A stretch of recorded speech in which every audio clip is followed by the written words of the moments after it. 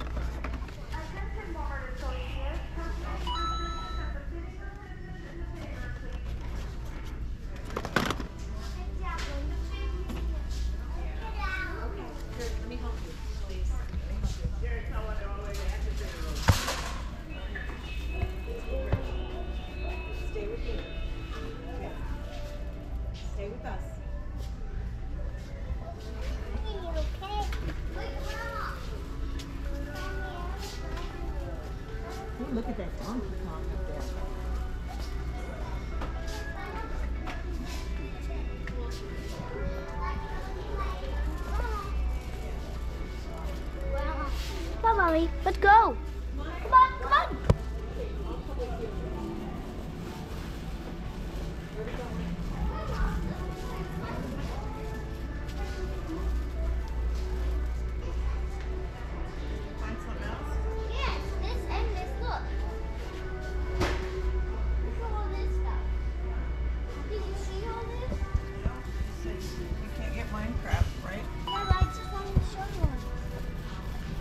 Lot of it, don't